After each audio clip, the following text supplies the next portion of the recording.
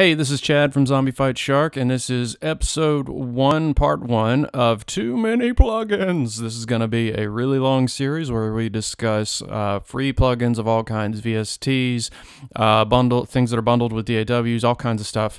Uh, and uh, first is going to be the Versilian Studios Chamber Orchestra, and part one is going to be just strings. Uh, so let's take a listen to that, and then we'll discuss uh, all there is to discuss about VSCO strings. Uh, part two will be woodwinds and brass. Part three will be percussion if you're uh, hanging on for those.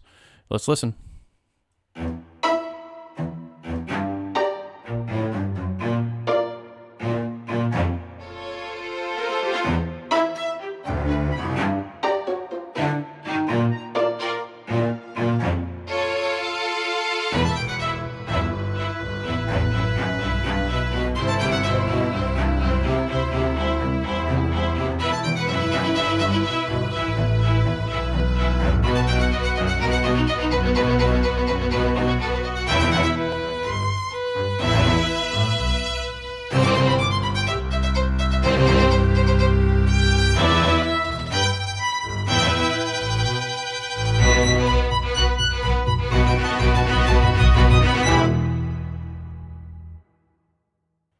Okay, so this Versilian Studios Chamber Orchestra, and you will hear that piece again. Uh, it was originally I, I was writing for the entire orchestra.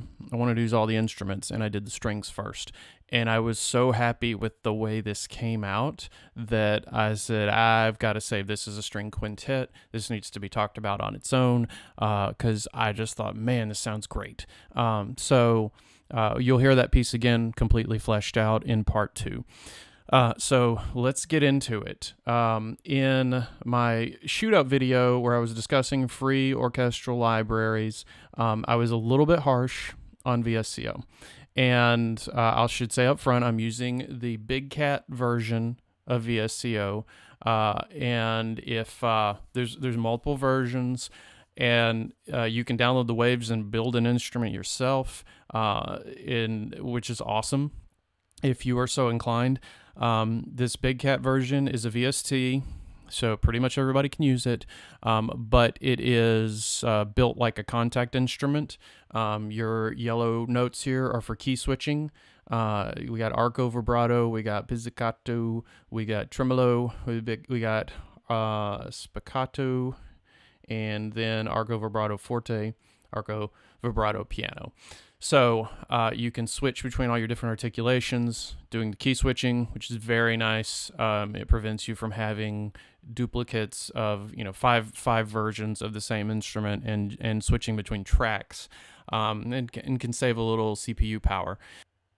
I was a little bit tough on VSCO in my free library shootout free orchestra library shootout. And um and i'm going to blame myself for that because i did not take the time that i should have to get the best possible outcome. Um and that's what i found when i was working on on this this quintet.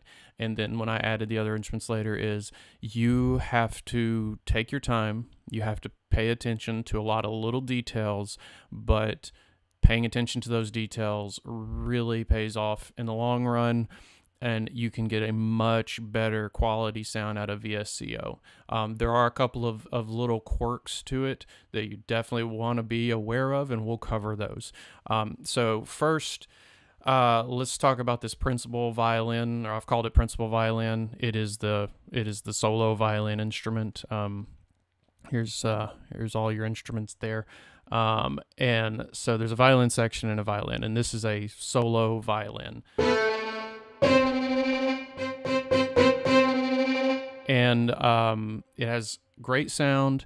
Uh, a lot of uh, a lot of the instruments don't have multiple velocity levels uh, for the hits. Uh, some do, some don't. It's a little hit or miss. So you kind of just have to be aware if you're writing on a note that you there's some instruments where you're going to get the same note over and over. You're going to get the same sample uh, repeated over and over. Um, and with uh, I believe with both of the Arco vibrato piano and the Arco vibrato forte both of these just have one sample port per note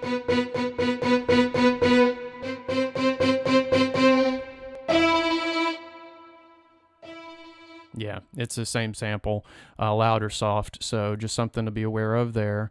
Um, and I keep trying to click on this and change the articulation. I'm not using a Kontakt instrument. Um, so, and then the regular arco vibrato.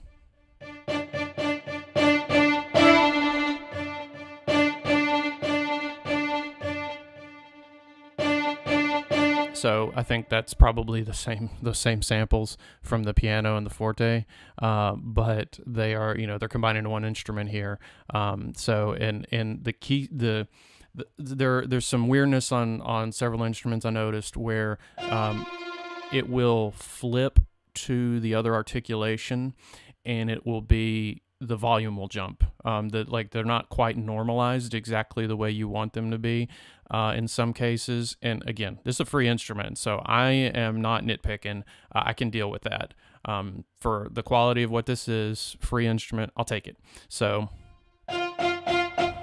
so just be aware if you're going from soft to loud. Sometimes, sometimes it's just gonna jump between those two. Um, the pizzicato strings, one of my favorites. Um, I think I'm playing all instruments at once here. Duh, don't do that. So let's just listen to the one.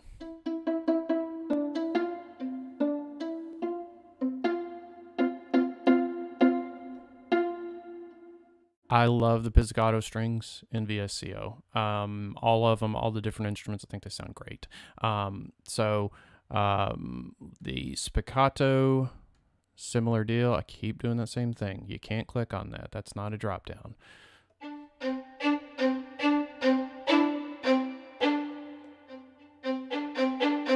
Very smooth uh, volume there, but the sample I don't think is changing.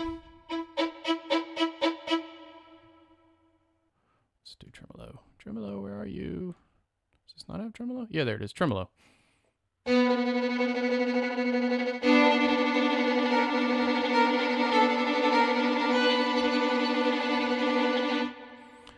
great tremolo sound. Um, played with lots of different free ones, and that's one of my favorites. Um, let's let's switch quickly to the violin section. Um, so the violin section uh, does sound a little bit more like a section. It's a small section. It's a chamber orchestra. So if you want to have 20 violins, then you can stack your uh, stack this what's called a section, and then you will begin to have an actual section. So, in the same way that the principal violin has single velocities for a lot of things, you get a lot of that same thing. Um, and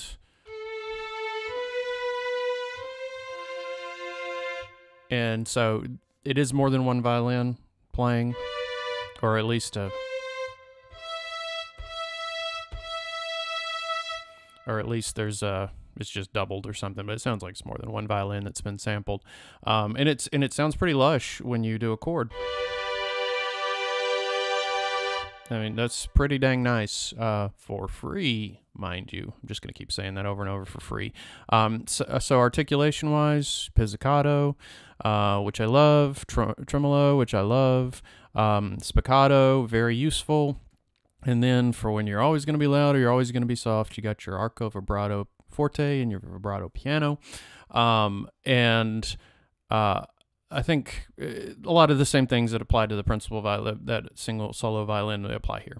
Uh, let's talk about cello. All right, so cello, um, well, so we got really good range because this is like that's the top end of the cello. And again, sounds like it's probably just a uh, single sample repeated. That one is that one has a little has a little round robin action going back and forth. Um, at least a couple samples, it sounds like. Um, so so it's going to vary a little bit. Um, arco vibrato.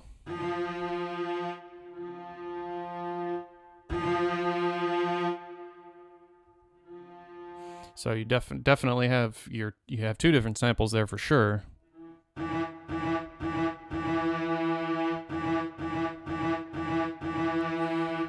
I'm gonna make so so uh, comment on you hear that da da da da da da da.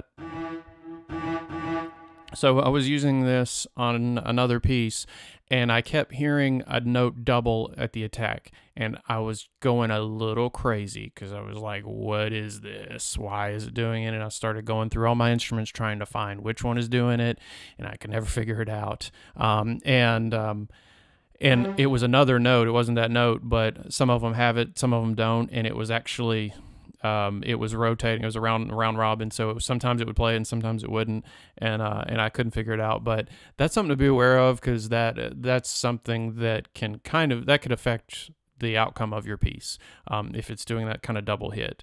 So that's sort of weird that it has that kind of double attack, but it is what it is. You know. Um, it's for it's free. Other articulations, so same things as before.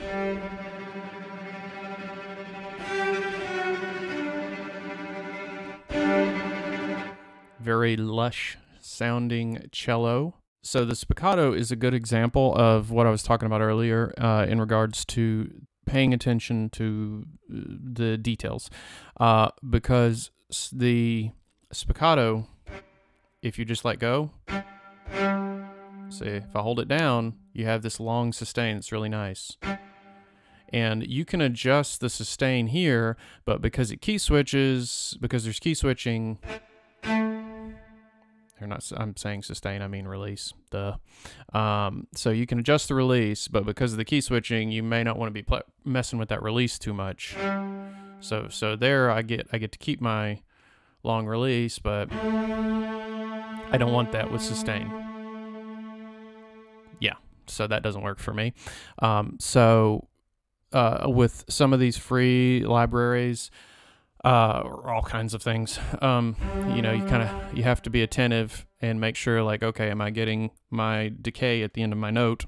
And um, with VSCO, you definitely have to, this is all the instruments, um, you have to make sure that you've extended the note for the length, or if you're using a foot pedal, then, you know, you're, you're holding down the foot pedal, whatever the case may be. Uh, really quickly, let's talk about viola. You know, I shouldn't say really quickly because viola is one of my favorite instruments, um, one of the underappreciated instruments, but I love that, you know, it's the middle ground uh, between your cello and your violin, and it's got that low C. I love that. I love that bottom string on the viola, and uh, and and then it has the high. It can do a lot of the high stuff, same as a violin. It's just it's a bigger fiddle, you know. Um, so same articulations. So a lot of a lot of the same stuff applies here. Um, so uh, it it doesn't get all the love it should because it's viola and it's it's in a supporting role 99% of the time. But it's this is a solid viola. Um, it seemed like when I was using it, it might be a little bit quieter. If memory serves, I had to do a little bit of adjusting on some of the volume levels specifically for viola. So that's something to pay attention to. I'm going to quickly go over the contrabass, which I should not do quickly, but I have to. Um, I am a contrabass player. So with contrabass, it's a little different here. So um, number one, make sure that uh, if you don't notice, the key switching up here, it's up here. It's not down there, it's up here. So the yellow notes, you got a key switch at the other end of the keyboard for this. Um, but we've got our sustain. It's not referred to as arco for some reason, even though it's arco. Um, but it's sustain. Um, pizzicato.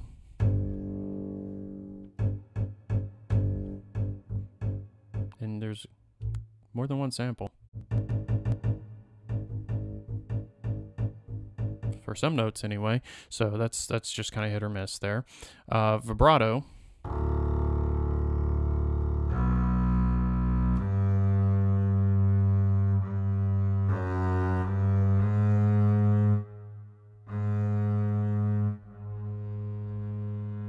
So definitely two different volume, uh, two different samples there. Um, so again, on some notes. So spiccato. And the spiccato here I thought was a little bit long on some of these notes. So another thing to be aware of. Um, some of the spiccatos are longer than others. Um, tremolo sounds great. It sounds very real. I mean, that this is an instrument I'm intimately familiar with, uh, and and I really liked that. I mean, it's not perfect, um, but I like that it's not perfect. Um, so the sustain, uh, the two different sustain volumes, forte and piano. Same deals with all the other instruments. That it's uh, the same samples they're used in the sustain. They're just uh, cut out to be by themselves. So if you're doing something where it's a whole whole section it's all going to be piano, or you just want to make sure it doesn't have uh, a more aggressive attack then that's the time to use those. Um, i think that's it for uh, for VSCO strings. So um, see you on part two which is going to be brass and woodwinds. I hope you have enjoyed this. Cheers